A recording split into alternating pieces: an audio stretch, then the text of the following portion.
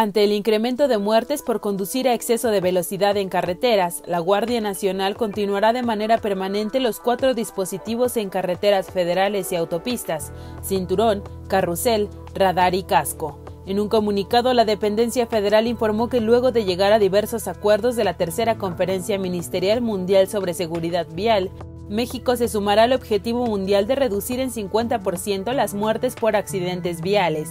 Los operativos específicos que se mantendrán serán cinturón, con el que se busca garantizar el uso del cinturón de seguridad por parte de conductores y pasajeros, además de carrusel para fomentar el respeto a los límites de velocidad, radar que permite detectar vehículos que rebasen los límites de velocidad permitidos. Y casco que consiste en revisar que los motociclistas usen protección.